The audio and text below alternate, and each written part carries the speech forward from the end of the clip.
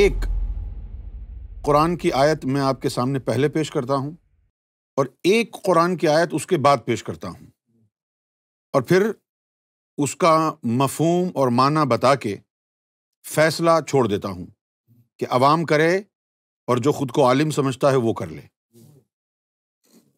सबसे पहले तो ये, सूरह आल इमरान में अल्लाह ताला ने इरशाद फरमाया कि इन दीना इन दल्लाही कि अल्लाह की नज़र में जो दीन है अल इस्लाम वो है इस्लाम।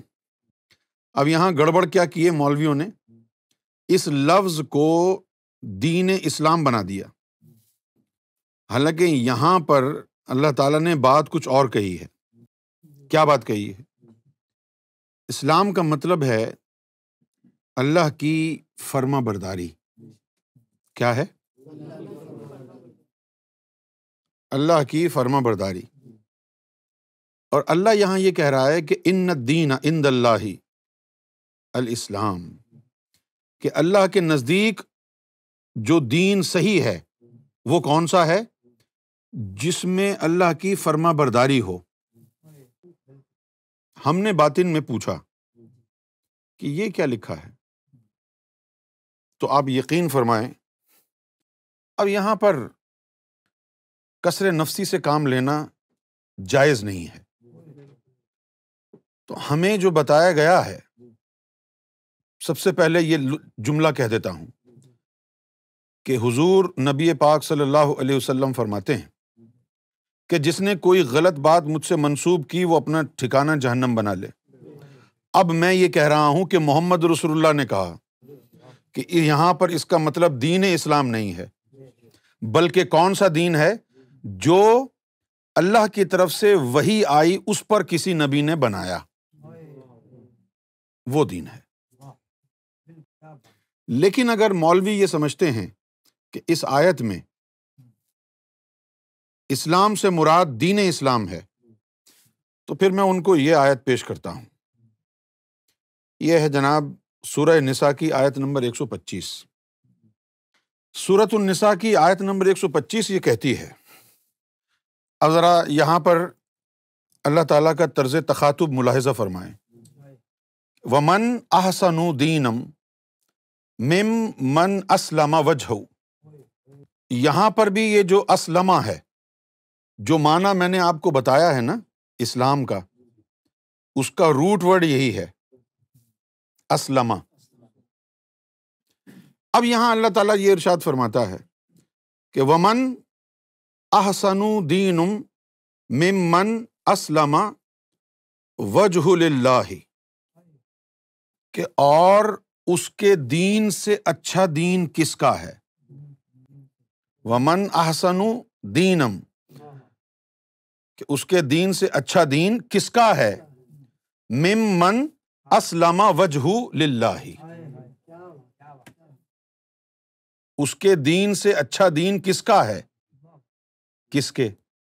जिसने अपना चेहरा अल्लाह की तरफ़ मरकूज कर लिया। उसके दीन से अच्छा दीन किसका है? क्या समझे आप? उसके दीन से अब अल्लाह की तरफ़ से सवाल है ये। अभी तो ये पिछली आयत में तो ये हो रहा था ना कि सबसे बेहतरीन दीन इस्लाम है। चलो मान लिया। मौलाना साहब की बात सही है। अब ये आइए यहाँ आ जाइए। अब अल्लाह ताला जो है वाज तौर पर पूछ रहा है कि भाई बताओ, एक ऐसा शख्स है जिसने अपना चेहरा अल्लाह की चेहर जात पर मरकूज कर दिया है। उसके दीन से अच्छा दीन किसका है बताओ? वमन अहसनु दीनम मिमन असलमा वजहू लिल्लाही। कि उसके दीन से अच्छा दीन किसका है? कि जिसने अपना चेहरा अल्लाह की तरफ़ मरकूज कर लिया। और फिर क्या हुआ? जब उसने अपना चेहरा अल्लाह की तरफ़ मरकूज कर लिया तो वह हुआ मोहसिन वो मरतबा एहसान पर पहुँच गया। वो मरतबा एहसान पर पहुँच गया। देखिए, हदीस जिब्राइल के मुताबिक अब मैं इमाम मेहदी के बारे में बात करने वाला हूँ और शुरू मैंने इन दो आयतों से किया है। उसकी वजह यही है कि इमाम मेहदी सलाम वो दीन मुतारफ करा रहे हैं कि जिस दीन के कसीदे अल्लाह पहले से गा रहा है। जिस दीन के कसायद पहले से कह रहा है। अजी इस दीन से अच्छा दीन किसका होगा? इस दीन से अच्छा दीन किसका होगा? कि जिसने अपना चेहरा अल्लाह की जात पर मरकूज कर लिया। वह हुआ मोहसिन और वो दर्जा एहसान पर फाइज हो गया। अब दर्जा एहसान क्या है? हदीस जबरील के मुताबिक, जबरील सलाम हुजूर सल्लल्लाहु अलैहि वसल्लम के एक सहाबी के रूप में आए। हुजूर सल्लल्लाहु अलैहि वसल्लम की बारगाह में अर्ज़ किया, या रसूलुल्लाह, इस्लाम क्या है? आपने जवाब मरहमत फरमाया। उसके बाद पूछा कि ईमान क्या है? आप सल्लल्लाहु अलैहि वसल्लम ने जवाब मरहमत फरमाया। फिर तीसरी दफ़ा पूछा कि मर्तबा एहसान क्या है? आप सल्लल्लाहु अलैहि वसल्लम ने फरमाया कि मर्तबा एहसान ये है कि जब तू इबादत करे तो रब का दीदार करे। तेरी इबादत में तुझे रब नज़र आने लग जाए तो मर्तबा एहसान है। अच्छा अब मैं आपको बताता हूँ कि इस इस लफ्ज का मतलब क्या है। अगर मैं ना बताऊँ सरकार गौहर शाही के करम और फजल से। अगर मैं ना बताऊँ तो कायनात में कोई नहीं बता पाएगा। और अगर मैं ना बताऊँ, और मैं पूछूँ कि बताओ इसका असल मकसद क्या है तो तुम बगले झांकोगे। आ जाइए यहाँ पर। वमन अहसनुद्दीनम मिम मन असलमा वजहू लिल्लाही। अब ये जो लफ्ज है, मिम असलमा वजहू लिल्लाही कि अपने चेहरे को फर्मा बरदार बना लेना अल्लाह के लिए। तू अपने चेहरे को अल्लाह के लिए फर्मा बरदार कैसे बनाएगा? कोई मौलवी बता के दिखाए। कि अपने चेहरे को फर्मा बरदार अल्लाह के लिए बनाना क्या है? कौन बताएगा? यहाँ से, वहाँ से, उधर से, आगे से, पीछे से मुख्तलिफ़ मतालिब अखज करेंगे।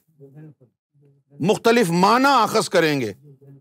टू द पॉइंट प्रिसाइसली है ही नहीं आपके पास इल्म, आप बताएँगे कहाँ से?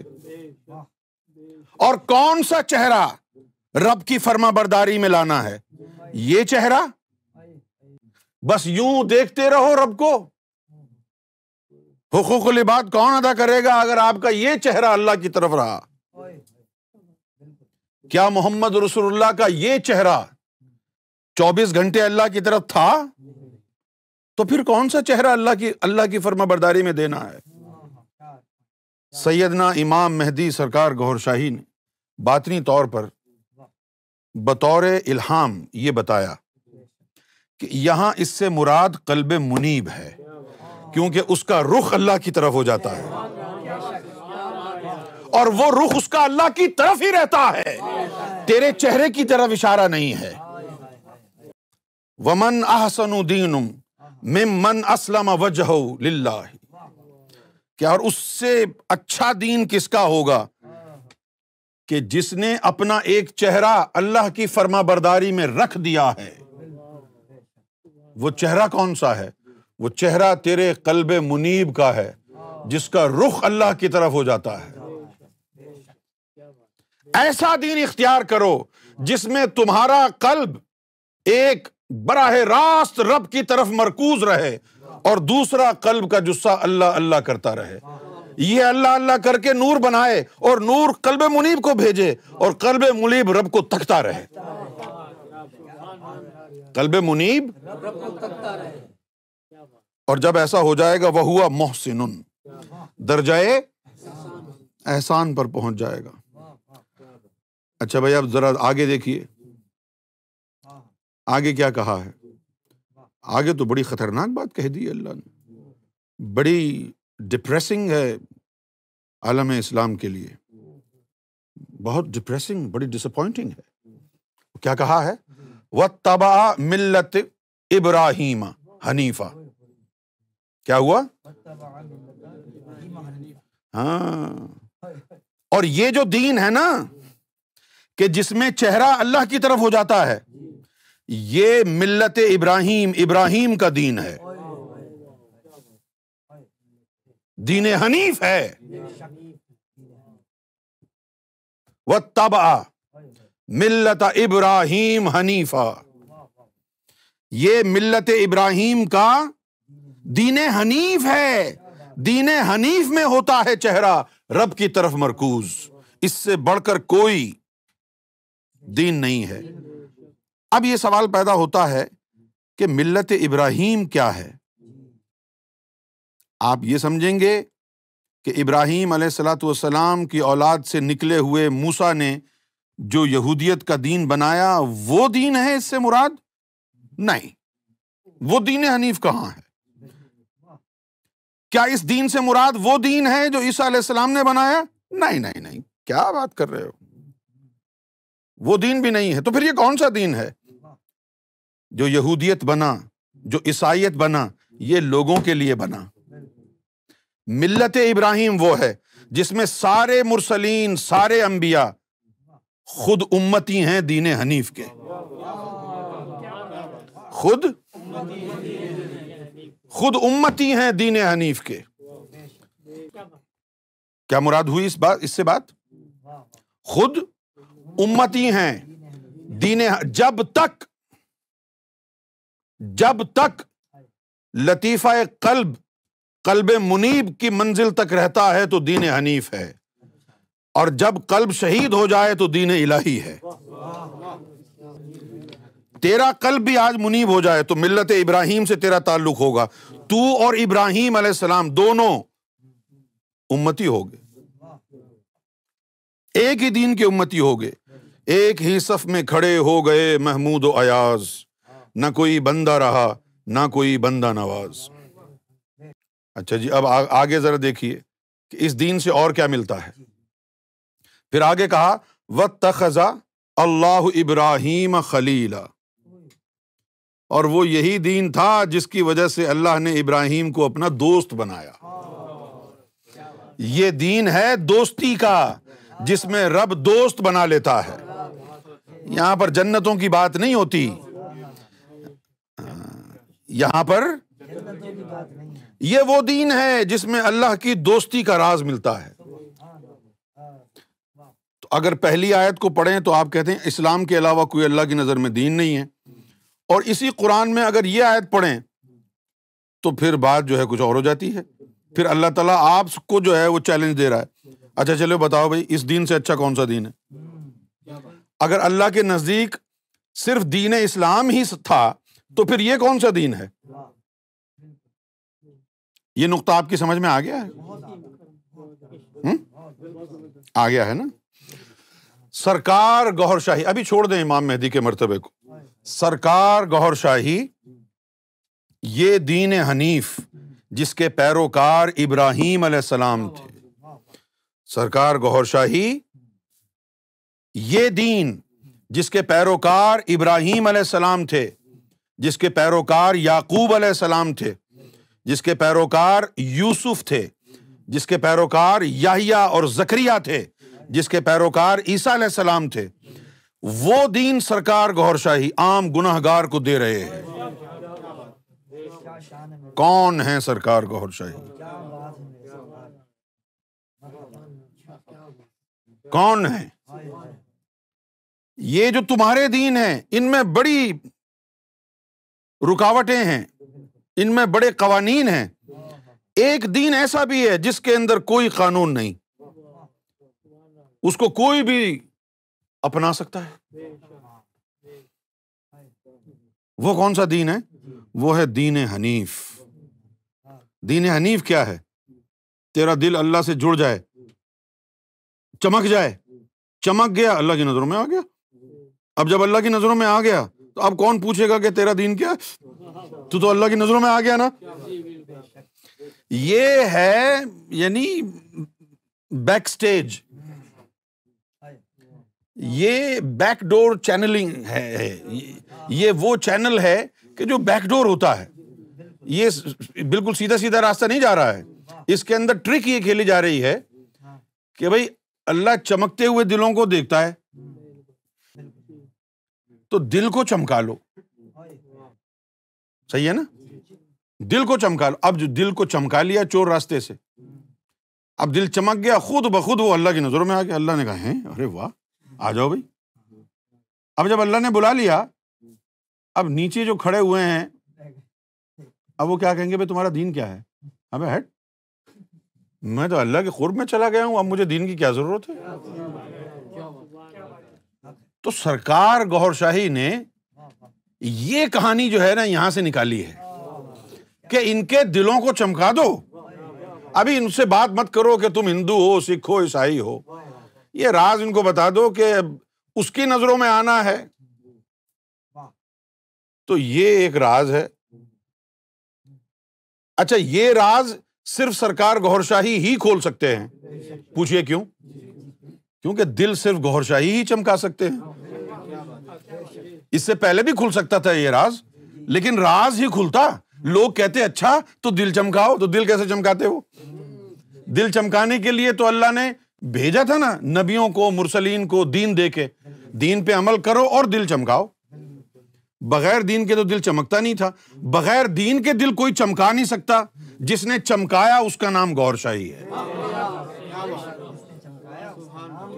बगैर दीन के कहाँ दिल चमकता था? बगैर दीन के तो टिंड नहीं चमकती। तो दिल कैसे चमकेगा? तो जब कोई आपको ये आयत पेश कर दे कि भाई अल्लाह के नज़दीक तो सिर्फ़ इस्लाम है तो आप ये वाली आयत उसको दिखाएँ कि बेटा ज़रा ये पढ़ो ज़रा। इसको पढ़ के देखो क्या है ये। ठीक है ना? तो अब सरकार गौहर शाही कौन सा दीन आपको दे रहे हैं? सरकार गौहर शाही वो दीन दे रहे हैं कि जिसके, जिस दीन में उम्मतियों के नाम क्या हैं? आदम सलाम ये उम्मतियों के नाम हैं उस दीन के। आदम सलाम इब्राहिम सलाम इब्राहिम सलाम ठीक है?